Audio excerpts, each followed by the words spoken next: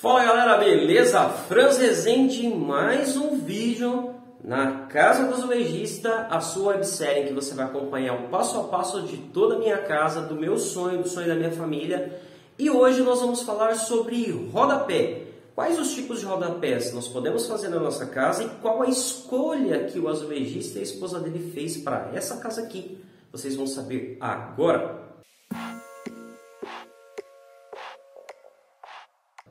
Pessoal, dois tipos de rodapés que no geral o pessoal faz. Rodapé embutido, que é quando você pega aquela parte de baixo do reboco, você tira o reboco, coloca o, o, o pedaço do piso ali, né, o rodapé do piso e mata o reboco faceando com o piso.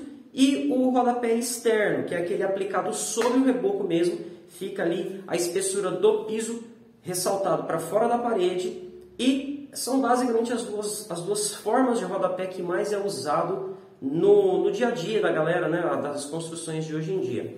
E pessoal, é, vocês acompanham o azulejista em vários vídeos, várias obras de, de outras pessoas e basicamente 90% das obras que a gente faz aqui na nossa cidade, na nossa região, são rodapés embutidos, tá? E hoje eu vou mostrar para vocês o seguinte, quando você estiver construindo a sua casa, é, você já se for rodapé embutido, você já tem que deixar, é, na hora que você for rebocar a parede, já tem que deixar esse pé de parede sem o reboco para facilitar. Porque, por exemplo, na minha casa aqui, ó, estamos assim, ó.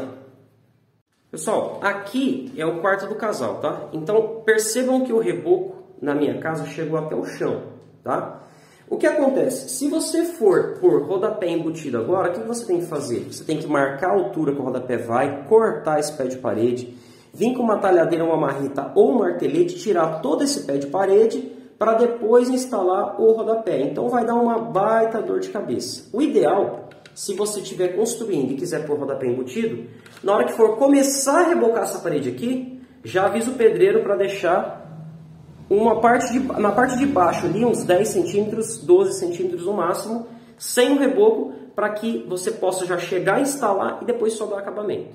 Bom, Franz, mas se na sua casa o reboco chegou até o chão, isso significa que você vai ter uma dor de cabeça para fazer o rodapé embutido? Não, pessoal, isso significa que eu não vou pôr o rodapé embutido.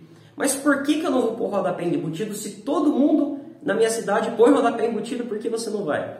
Pessoal, Uh, primeiro que, que a questão de ser embutido ou externo tem a ver com dois fatores, tá? O primeiro fator é a própria escolha da pessoa. Às vezes a pessoa acha o rodapé embutido mais bonito e outra pessoa não acha. Então, às vezes você opta por pôr rodapé embutido simplesmente pela estética. Você acha que é mais bonito, então você faz assim.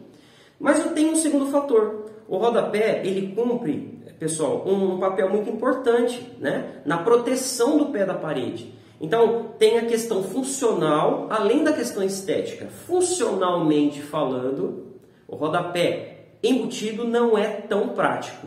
O rodapé externo protege bem mais a parede, tá? Então, assim, é, por escolha minha e da minha esposa também, nós não decidimos não fazer rodapé embutido. É, porque a gente leva em questão tanto a funcionalidade do produto da, da peça, como também a sua estética, tá? Falando por mim, Franz Rezende, como aplicador de, de revestimento porcelanato por mais de 20 anos, eu não, eu particularmente não acho o rodapé externo tão, o rodapé embutido tão bonito assim. Eu acho que o rodapé é, normal, externo, é legal, é bacana, e ele tem uma função que o rodapé é, embutido geralmente não tem, tá? É, já percebeu que, que parede onde o rodapé está embutido, o móvel ele encosta até na parede? E ele, ele encostando na parede, se for um ambiente mais úmido, pessoal, ele começa a embolorar aqui atrás, tá?